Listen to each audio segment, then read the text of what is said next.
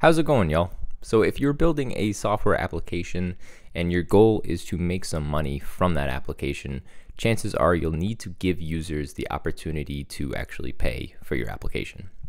And that's currently where I'm at with the software that I am building. If you're new around here, it's called Dinnerbee, and it is a platform for roommates, couples, or really anybody who lives together to plan their meals throughout the week. That's the elevator pitch for Dinnerbee, and I'm at a point in my development journey where I am uh, pretty much at an MVP. I am a few weeks out from my beta, which is really exciting, but I have this lingering piece, which is I need a, way for users to actually pay for the software and then provision access to them once they have done so. There were definitely a few different decisions that I had to make along the way as I was designing the payment and user onboarding flow, and I just wanted to share those with y'all in case you're looking for inspiration on how to accept payments inside of your application or just looking for a way to do it. There are definitely a ton of ways to do it, so this is just how I'm doing it for this application.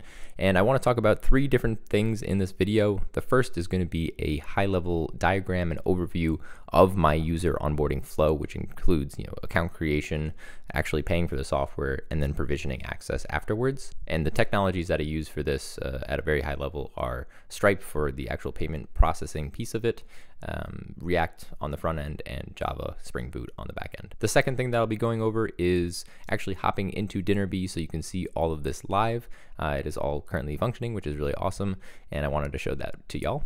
And finally, the third thing that I want to talk about is pretty much why I chose Stripe as a solo SaaS founder, some of the benefits that it gives me, and some of the considerations that I took while choosing Stripe. So yeah, I hope y'all will be able to take something valuable away from this video, but I'm gonna start off by hopping into my iPad so I can do a diagram and overview of how this whole flow works. Alrighty, so I want to give a high level overview of the kind of payments and user onboarding for Dinnerbee. And I just want to diagram this and then I'll shop into Dinnerbee itself and, and show the entire process there as well. But so everything starts off with a potential user. And so this potential user, for whatever reason, for whatever marketing effort, has landed on the Dinnerbee website.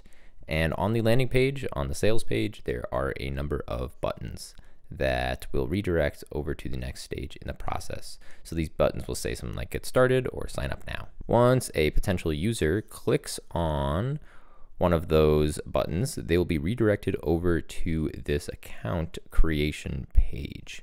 So this is a very standard account creation page, you know, just ask for things like your name, uh, email, password, those kinds of things. And I want to talk about real quick why I want this account creation to be the first step of the onboarding flow. So essentially what could potentially happen is uh, we worked very hard to get this user, I'm just gonna switch colors here real quick. We worked really hard to get this guy or girl to come over here to our website. And you know, we worked even harder with the content on the sales page to get them to actually want to sign up for an account.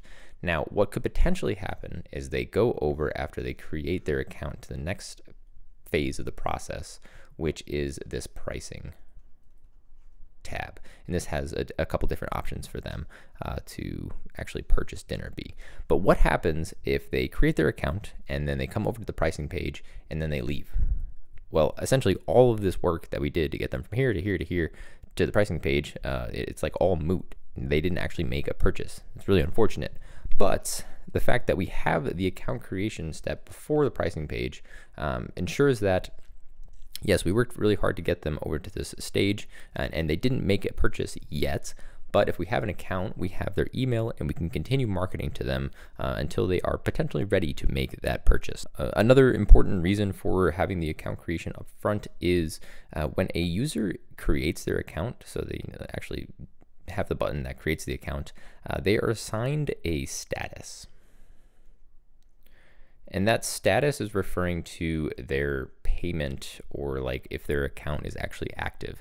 And this is how I'm provisioning access to all the features of Dinnerbee is so initially when they create their account, uh, this, this status is false. They don't have access to anything.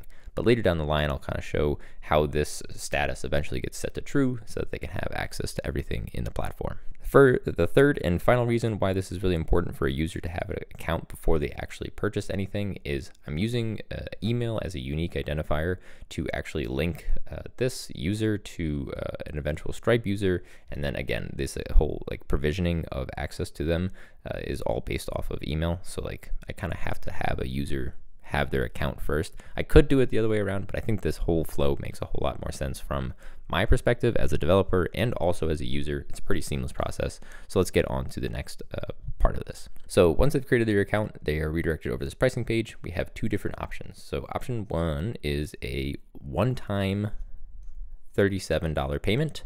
And option two is slightly less. Uh, this is $5 a month. Excuse my terrible handwriting. The reason that I have these two different pricing options is I really wanted to make this as simple as possible for my potential users. So uh, they come over to the pricing page and like I don't want them to be confused in any way. Both of the options have the same exact um, features. So they, there's not like additional features if you do the $37 plan. This will all be exactly the same.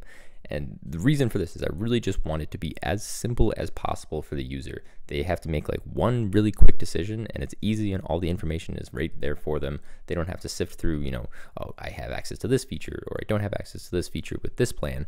And all that stuff is just really confusing and can bog down the process. So like I said, just wanted to keep this as simple as possible. You'll also notice that there is no free trial. I'm not interested in doing free trial. They don't convert super well. Uh, you end up with a ton of data that is just gone forever once the user never comes back. Uh, you could potentially have um, malicious users that come into your system and try and break things. And so really, I want to mitigate all of that and just only have these paid plans. I'll probably play with these prices as time goes on um, and I gather some data on what actually makes sense, if these prices are converting or not. Um, my thought for the um, one-time payment, and this one is going to be like the highlighted option. This will be uh, what I have as the most popular option because uh, a user would have to stay on the Dinnerbee platform for like over seven months um, for this to actually make more money than the one-time payment. And you know, it's possible that users want to stay on for that long, but this is SaaS. There is customer churn, and you have to take those things into account.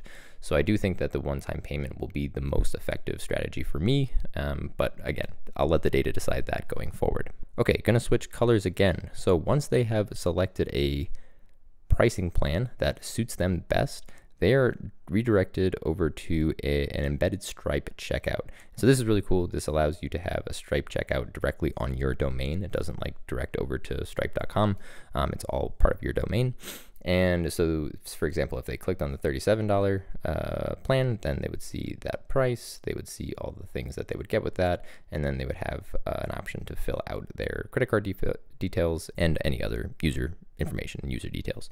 What's really cool is I can have the email that was created from this step be auto-populated over here so that I can automatically link this and this once a user actually buys. So let's talk about that. When a user actually hits the buy button, uh, this is when the process of setting this to true starts to kick off.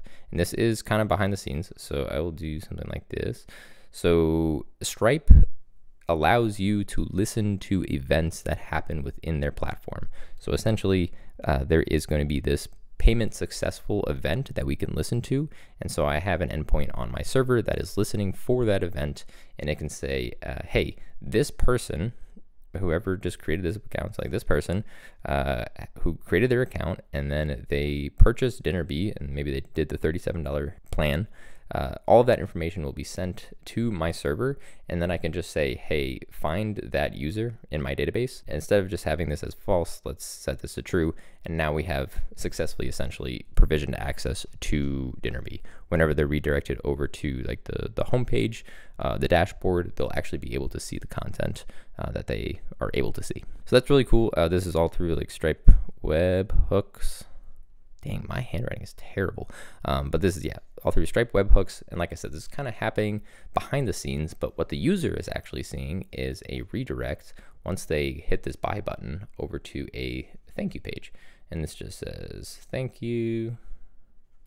Uh, we love you and thanks so much. This will have a button um, that redirects them over to the actual Dinnerbee platform. Uh, so they can say, hey, uh, there might be a confirmation email that comes to that email. Um, but if you click on this button, we'll take you right away over to your dashboard. Okay, so that is the whole diagram and flow at a high level. So now I actually want to jump into the Dinnerbee platform so you can see all of this in real life. And I have a whole video that kind of shows this entire landing and sales page. I'll link that somewhere. Um, but essentially what I'm caring about here is these links that I was talking about before that allow you to start now and kick off this whole onboarding process. So let's click on one of these. Let's get started now. And as you can see, we are directed over to the account creation uh, that I was talking about before. So let's fill in some information here. Keep note of this email because this will kind of be passed down through this entire account creation step and, and payment flow. So that's really, uh, really cool. So once a user is ready and they sign up, we can see that email being propagated over to the next step. I'll probably add some more information here, but for now, I just wanted to see that it is actually passing through. Like I said, I have those two options, the one-time payment, which is the, the most popular one. I want that one to be highlighted. Ideally, I would like folks to purchase this one more than the monthly one. But if Jon Snow is ready to purchase the one-time payment, they can click on the purchase. And like I said before, this is taking you over to an embedded Stripe checkout, which is really cool. Uh, like I said, this is on your own domain, um, and it's like a, an embeddable component that you can have. So for example, I'm using React, and I can just have that component um, be rendered right now, which is awesome. As I mentioned before, this email is propagated over here, and they're actually not able to edit it because this is very important. This is a unique identifier for me and actually linking this purchase to that account that was just created. I'll talk about this in a little bit, but Stripe is awesome for creating like test data. So essentially they'll give you test credit cards that you can use to test out your entire payment flow. And once Jon Snow is ready to purchase, they're able to hit pay we can see that that was successful and it redirects us back over to a thank you page saying, hey, your purchase was completed successfully. We'll send a confirmation email over to that email that we had before. So this is the final piece in this three-step process. And at this point, they are able to go and access the Dinnerbee platform, which is awesome. It takes them directly over to their dashboard where they can start using you know, create recipes, creating their calendars, and setting everything up. Um, so, yeah, this is the entire flow, and honestly, I'm very happy with how it has turned out so far. Alrighty, so that will wrap up the demo. I hope you found that interesting or just sparked some ideas of your own for how you'll do your user onboarding. And if you have any comments or questions about it, definitely leave them down below, and I'll be happy to check them out. But I wanted to end this video now just talking about why I chose Stripe. There are definitely a lot of payment processors that you can choose from, but my clear and obvious choice every time I need to set up a payment processing integration, especially as a solo SaaS founder, is always going to be Stripe. So here's why. First and foremost, Stripe has amazing documentation. Out of any of the third party vendors that I've ever worked with, whether it be a cloud provider or an email integration or just any kind of third party, Stripe has by far and large the best documentation out of anybody that I've ever worked with. It is incredibly easy to find the exact information that you're looking for. They have in depth guides, they have code samples, and the code samples will insert certain variables that you need like straight from your account such as like your secret key which you need for authentication or your product IDs uh, so you can actually set up these payment integrations. And it is really just impressive how good their documentation is. When evaluating a third party that is really something that you should take into consideration that and are there continuous product updates. So for example we're on version 28 of the Java uh, Stripe package. So there's continuous updates um, there's huge developer community support and it's just always going to be easy to find information on anything that you're trying to do. And even with all that great support, I would say the fees are definitely pretty manageable. There are fees. I mean, obviously they're going to charge you somehow. I forget what the exact numbers are. I think it's two point something percent plus like a flat fee uh, per transaction. So as a solo developer, obviously you're trying to minimize costs as much as possible. But for the amount of pain that Stripe simplifies in terms of payment processing, really uh, that fee becomes negligible to me. Next, there's just a ton of customization that comes with these payment integrations. So, you know, I'm able to change out things like uh, the images and logos on the payment form itself, uh, button colors. I'm able to add the features that a user will get if they actually purchase this thing. So I would definitely think the forms and the payment forms themselves have come a long way in that regard, which is awesome. Other types of customization include like different form types. So for example, I'm using the embedded form. It's actually just a component on my website. It doesn't have to redirect to a dot .stripe uh, domain, which is really awesome. Everything just stays within my own website. Um, but you have that option if you want to. There are no code and low code solutions for any type of payment form that you're trying to create.